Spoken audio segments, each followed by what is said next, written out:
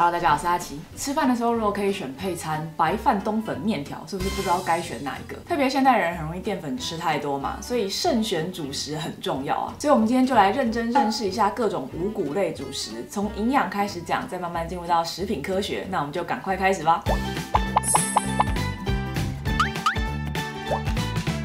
首先开始前问你一个问题啊，以下哪一个升糖指数是最高的？A. 糙米 B. 意大利面 C. 白饭 D. 冬粉 E. 全麦面包。全麦面包？怎么可能是全麦面包？它是面包啊，应该有奶油吧？我的确原本的思路也跟你差不多，因为一般而言，加工越多的食品，它的 GI 值就会越多，因为它被磨碎重新制造过了嘛。但是淀粉类却不是这样，它其实蛮复杂的。比方意大利面就超低啊，意大利面超低，我有点意外。我也蛮意外的，因为它是白面又加工过，对不对？可是它很密。如果你用显微镜去看意大利面的结构，你会发现它面粉跟面粉之间粘得很紧，因为它这么的密集，导致人的肠胃其实很难消化它，所以意大利面的 GI 值还是偏低的。那我们刚刚所有的选项里面，GI 值最高的其实是白饭。刚有说白饭啊？我没听到。我刚刚就想说，怎么没有白饭？白饭跟白面包的 GI 值都很高，大概都有七十以上。面包分很多种啦，但只要你是那种白色的面包，大概都差不多。而五谷饭、糙米、意大利面、冬粉 GI 值都偏低，一样是五十五以下。五谷饭跟糙米饭很容易理解嘛，一样是全食物，营养比较多，消化就比较慢。但是意大利面跟冬粉这种加工食物，因为结构密集的关系，其实一样 GI 值是低的。但如果是一般的乌龙面、白面，GI 值就很高喽。不过要注意的是，低 GI 不代表低热量。主食里面热量最高的通常是鸡丝面跟锅烧意面，因为这两个面都是炸过的，它在煮的过程中就吸了很多油，热量可以是白饭的三到四倍。另外，冬粉感觉热量很低，但其实要小心，你在麻辣锅里面煮的冬粉，热量可以是水煮冬粉的两倍，因为冬粉会吸油，所以有的时候主食本身的热量并没有那么重要，而是你跟什么东西一起煮。如果煮在那种油油的汤里面，热量就会暴增。另外，在看淀粉类热量的时候，一定要看清楚单位。我们通常都是用一百克的食物有多少热量去比较嘛。如果你这样看啊，冬粉热量超高，比白饭还要多两倍。可是，一碗白饭是一百六十克，一份冬粉其实只有四十克。所以，如果你是在火锅店点冬粉，你吃到的热量会是白饭的一半。即使乍看之下同样重量，冬粉的热量是白饭的两倍。对比面类也是一样的。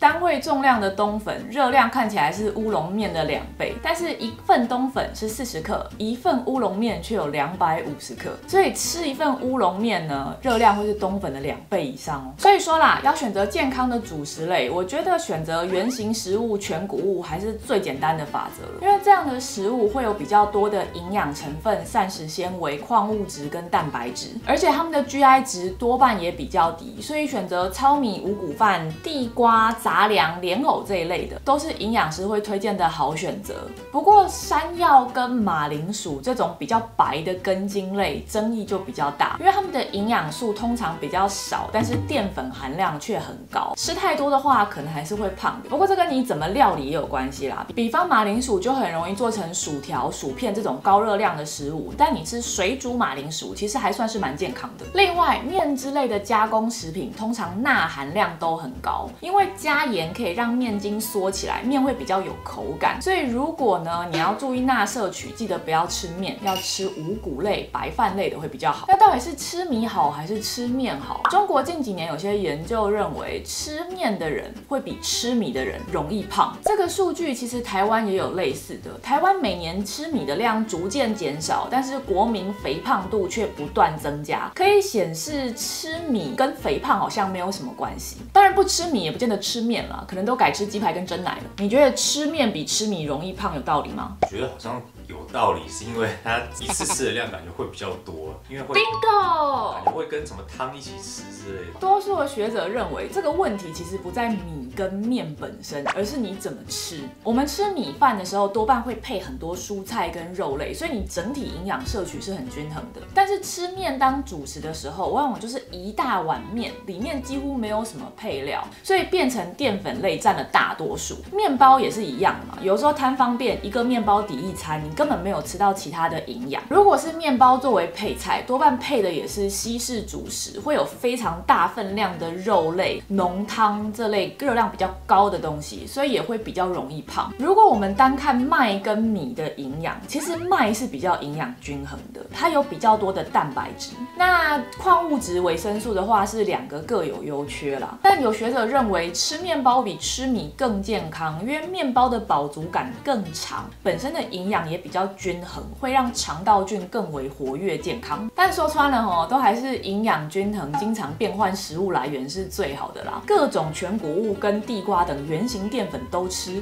才会是营养师推荐的法则。但如果觉得五谷饭很难吃，就是想吃白饭跟白面包，该怎么办？这时候可以认识一个东西，叫抗性淀粉。所谓抗性淀粉，就是指很难消化的淀粉，它可以是天然的，比方绿豆、没有成熟的香蕉里面都有有一些很难消化的淀粉，就是抗性淀粉。但也可以是做法不同生成的，比方淀粉煮熟之后，如果你冷藏放一段时间，淀粉会互相靠近，变成类似结晶的结构。这种结晶就跟刚刚的意大利面一样，它很密，很难消化，所以 GI 值也低，本身热量也低，相较于你吃新鲜的白饭是比较健康的。而且抗性淀粉不只是有减肥的效果，它对肠道菌也比较好，因为你没有办法消化这些东西，所以它其实算是膳食纤维，会在进入到大肠之后变成益生菌的食物，有滋养肠道细胞甚至降发炎的功效。所以一样是吃一碗白饭，如果里面抗性淀粉多，你就赚到，热量比较低，还比较健康。那如何提高抗性淀粉呢？重点就是要久放跟冷却，把饭提前煮放凉，里面的抗性淀粉就会增多。所以像是冷藏的寿司饭里面，估计有大概二十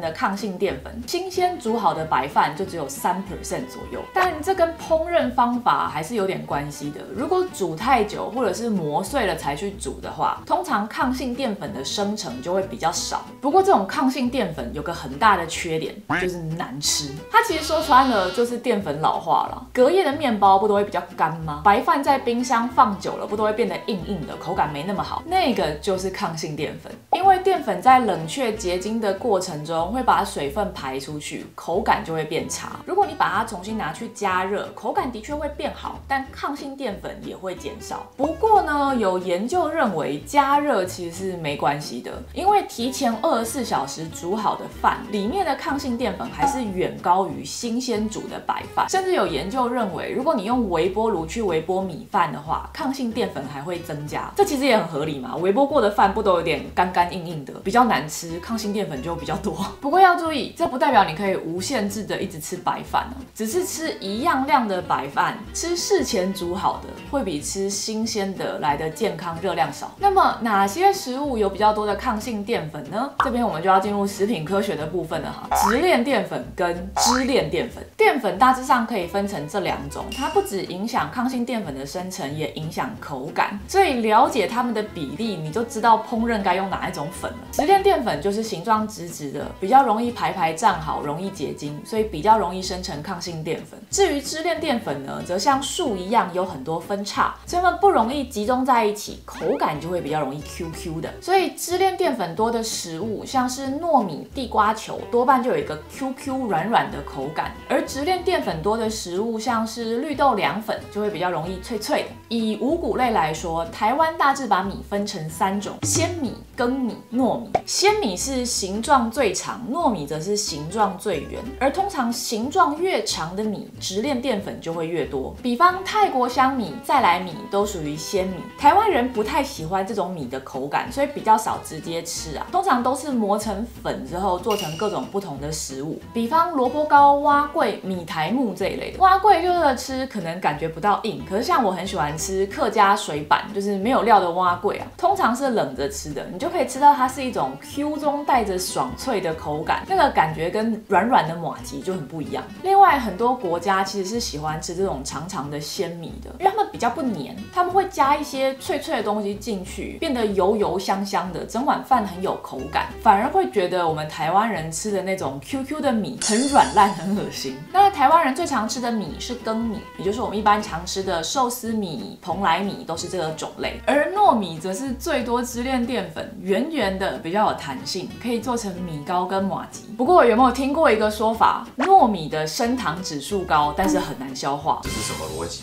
怎么有一种 觉得很冲突，对不对？可是这是真的，这跟淀粉的种类也很有关系。人类消化淀粉是靠淀粉酶，但它只能够切掉淀粉直链的地方，分叉的地方是没办法消化的。那糯米呢？因为支链淀粉很多，所以表面积比较大，它有很多直的地方可以切，所以消化速度会很快。可是切到最后剩下那个分叉的地方，它就切不下去了。所以升糖指数高，消化快，但又消化不完全，吃到后来就容易。胃痛。那一般的米直链淀粉比较多，消化酶没有那么多表面积可以作用，升糖指数反而是低的。所以糯米真的是一个不太健康的东西啊，升糖指数又高又很难消化完全。不管是糖尿病患者还是肠胃不好的人，都要小心不要吃太多。不过其实大部分的植物都是支链淀粉比较多，通常有七十 percent 以上，直链淀粉少少的不到三十 percent 啊。直链淀粉特别多的食物，比方绿豆跟豌豆。大概都有六十 percent 以上是直链淀粉，